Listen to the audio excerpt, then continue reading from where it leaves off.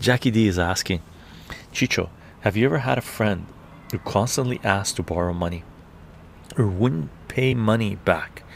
If you have, what would your advice be to deal with it? Um, I've had friends that have done that, families that have done that, and this is friends and family that I loved, right? Initially, I support them. Some people I supported way longer than I should have, right?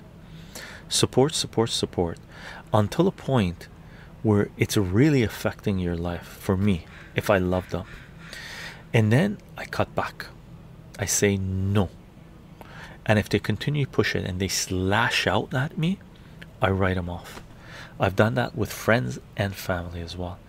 Now, take with a grain of salt, each person is different.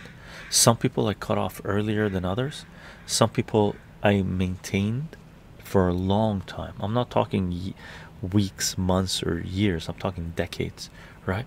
But it comes a certain point where if they're really in a jam, this is the ones that are that are decades long, right? If they're really in a jam, they're, they're about to go homeless. Okay, I would give enough money, give them enough money to be able to not go homeless.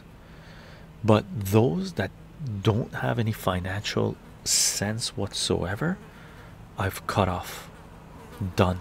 I'm done with them. Really, uh, it's it's a time where uh, you can't take on the burdens of people that are leeching off you. Really appreciate that. And there are a lot of leechers in this world. Cut them out of your life, as many of them as you can. Family is more difficult. Family is more difficult.